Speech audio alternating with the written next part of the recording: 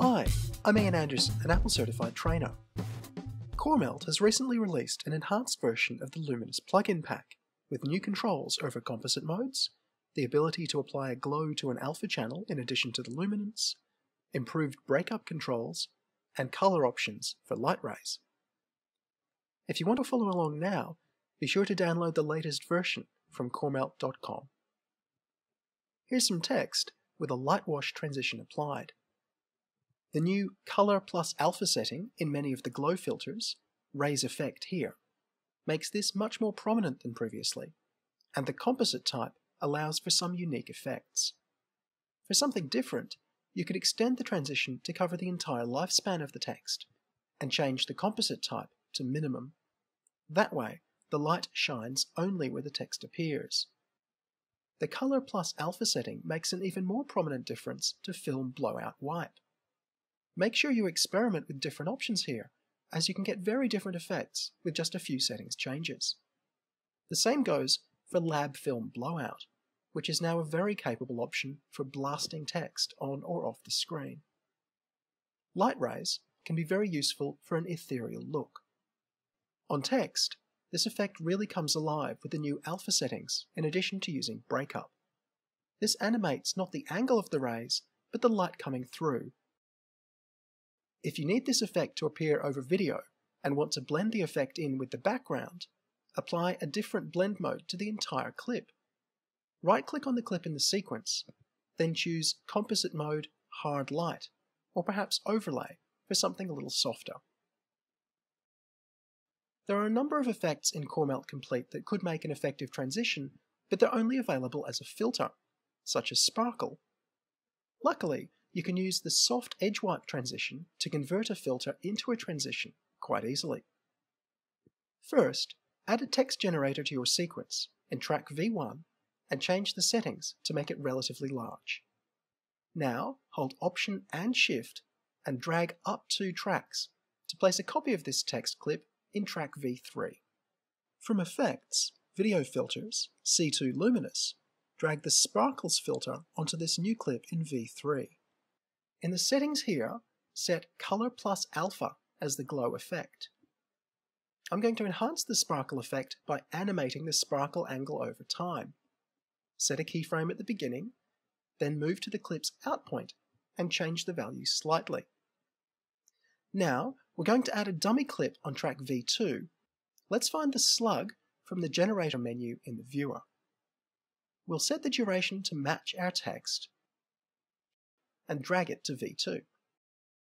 We'll find Effects, Video Transitions, C2 TRX Filmic Transitions, Soft Edge Wipe, Free.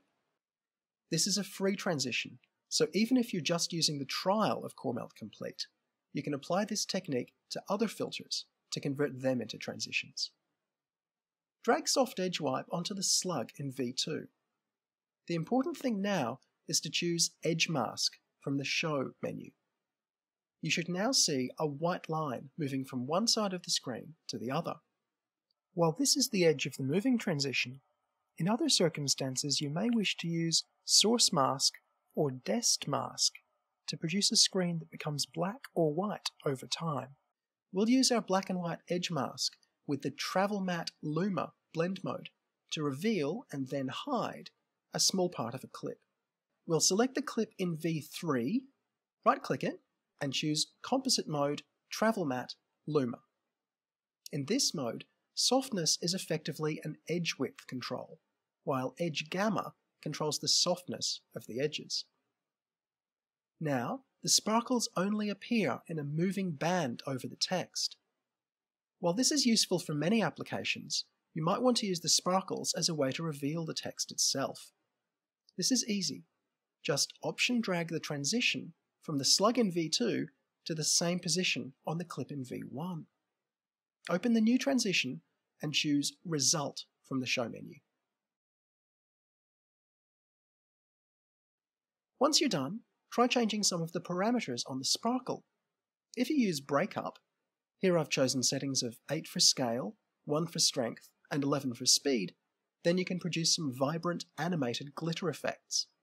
Sparkle edges can produce a similar, related effect. This technique works well with images and with a wide variety of effects. This example uses the soft edge wipe to exchange a glitched version of the text with the regular version. Since you don't see the full effect for very long, it's usually safe to crank the settings up on the filtered clip. Another example is to use Core Glow to reveal with a more complex glow effect. Here's a product shot used with a vertical wipe and glow waves applied to the clip in V3. The regular product shot in V1 fades in using opacity keyframes. Try Fast Blur XY with Blur X at 10 and Blur Y at 150 for good results. To avoid clipping against image boundaries in blur effects like this, make sure there's plenty of transparent space around the image in the original file. Use of a large clear background is important if you want to display an image above video or a generated background such as the new gradient rays. With or without a background, you can use soft edge wipe repeatedly. Here you can see the new pulsate and flicker filter appear in four separate moving strips. The full effect is quite strong. And here's two instances of the Distort Waves filter. You can also use Soft Edge Wipe effectively with built-in filters in Final Cut. Here it is with Overdrive and with the hatched screen filter. Please grab a copy of CoreMelt Complete and the project file for these examples from coremelt.com. Then show us what you can do on the forums. Remember, Soft Edge Wipe is free, so you can use this trick for as long as you wish. Thanks for watching.